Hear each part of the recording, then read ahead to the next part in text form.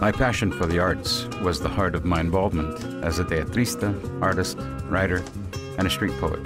Lessons learned include the most resonant discovery after a lifetime of creating that the best is yet to come.